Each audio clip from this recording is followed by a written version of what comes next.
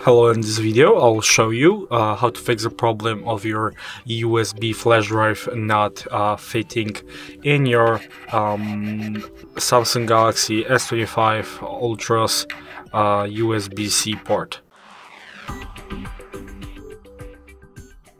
So uh, obviously um, the uh, phone doesn't support the USB uh, flash drives.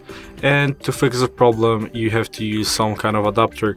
Um, so you just have to plug plug your USB-C uh, adapter to your phone and connect it uh, connect the USB flash drive from there. Or you can just use these um, dual um, port USB uh, um, flash drives. And as you can see it fits perfectly.